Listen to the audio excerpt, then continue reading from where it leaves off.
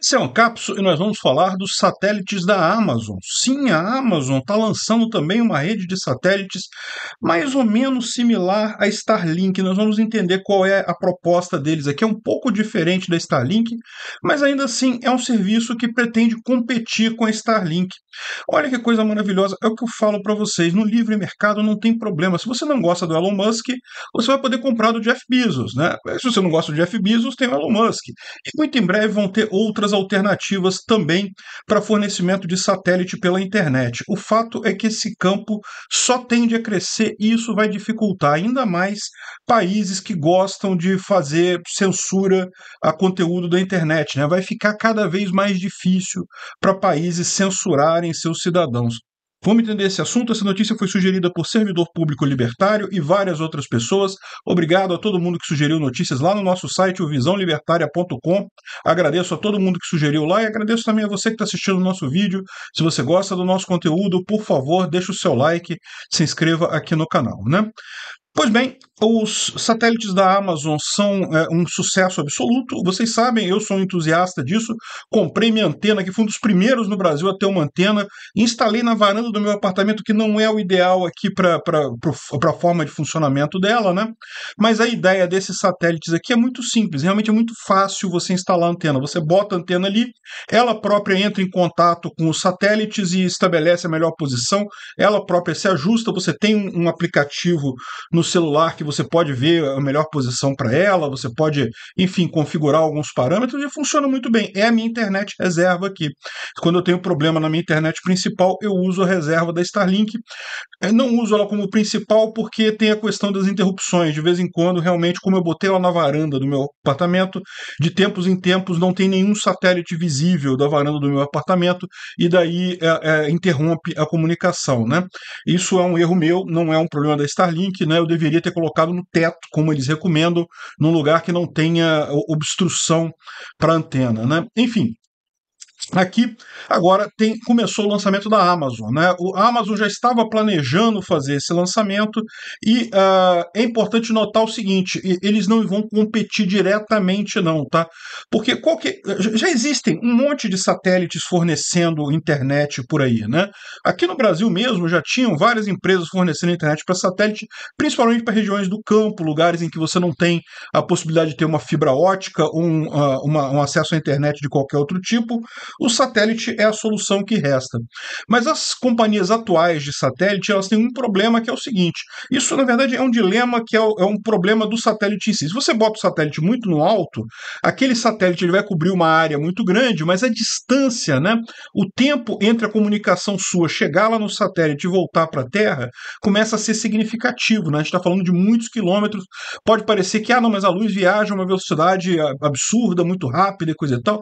E é verdade, mas quando você você começa a usar a internet nesses satélites, você percebe que fica meio lento o fato de ter que ir da superfície da Terra até o satélite, depois voltar para a superfície da Terra, começa a ficar a ter um delay muito grande. Quem já fez também ligação é, por telefone via satélite sabe como é que é. Você tem, tem, que estar acostumado a falar isso. Por quê? Porque a impressão que tem é que o outro lado demora a responder.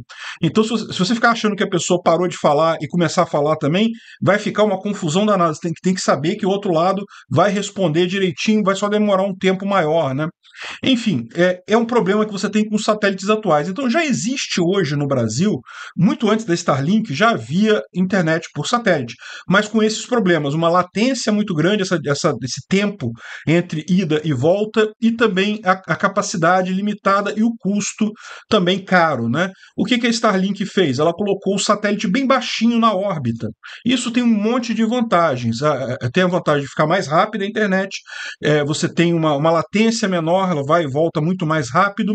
Também tem o problema de que você não gera lixo espacial, porque como esses satélites da Starlink, eles estão numa camada que já é no alto da atmosfera é, do planeta Terra, se é, o satélite ele, ele por exemplo, perder força, ele acabar a validade dele, ele tende a cair, né? Ele precisa ficar se mantendo, ele fica, ele fica se corrigindo em órbita para manter a órbita. Se ele parar, ele cai.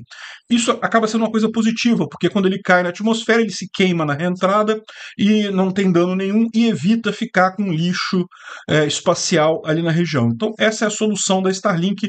Funciona muito bem, realmente é muito rápida a internet.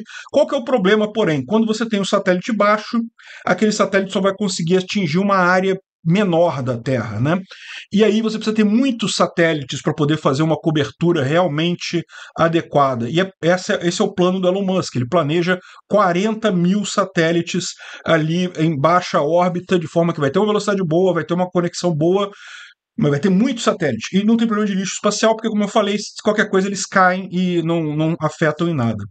Pois bem, e qual é a ideia da Amazon? Né? A Amazon ela tem uma coisa intermediária, ela vai estar um pouquinho acima do Elon Musk, qual é a visão deles? Aí é uma questão realmente de saber qual que é o ótimo. Né?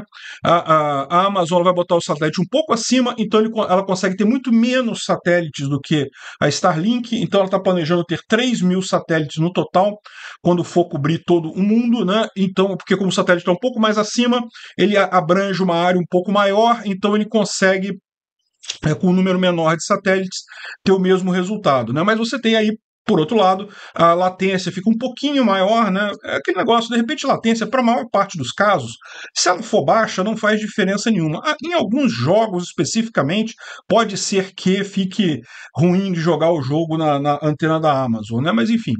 O importante nessa história é agora você tem uma alternativa. Se você não gosta do Elon Musk, você pode comprar na Amazon. Escolhe, cada um escolhe qual é o melhor provedor de internet aí, né? E a beleza desses provedores de internet no espaço é que não tem muito como os governos censurarem eles, né? A Starlink, do jeito que ela está hoje, né, quando eu acesso aqui de casa, ela sai por São Paulo. Ou seja, eu, uh, o meu computador aqui fala com um satélite que cai em alguma antena ali em São Paulo e dali vai para a internet, digamos, normal por fibra né, no fundo da coisa. Então, é, não tem muitas vantagens. Se, em tese, o Xandão Cabeça de Piroca censurar um site qualquer, eu continuo não conseguindo acessar. Mas isso é só na versão atual da Starlink, tá? Existe uma previsão, é, e isso também vale para os satélites da Amazon, também tem essa previsão de comunicação entre satélite. Então, você fala daqui com o satélite, o satélite fala com outro satélite, até chegar no lugar onde você está acessando o servidor, e aí ele vai para a Terra. É muito mais rápido e você foge de eventuais firewalls de países e coisa e tal. Não é à toa que a Rússia já proibiu o Starlink, a China já proibiu o Starlink, um monte de países aí, ditaduras de merda, já proibiram o Starlink, e o pessoal continua usando Starlink do mesmo jeito nesses lugares, porque não tem como evitar. É uma antena, você bota num lugar qualquer, esconde num canto qualquer, não tem como o governo saber que você tem aquela antena e você consegue acessar a internet de forma ampla nesses países, né? Então, ou seja, é o que eu falo para vocês, a internet ela é essencialmente libertária, ela é essencialmente anárquica. Xandão, os ditadores judiciários aqui do Brasil podem querer calar as vozes aqui no Brasil, mas não vão conseguir não. Obrigado por assistir o vídeo até o final. Além de curtir, compartilhar e se inscrever no canal, considere se tornar patrocinador com valores a partir de R$ 1,99. Clique no botão Seja Membro abaixo para saber as condições e vantagens de patrocinar o canal. Mais informações sobre o nosso projeto, visite nossos sites indicados na tela.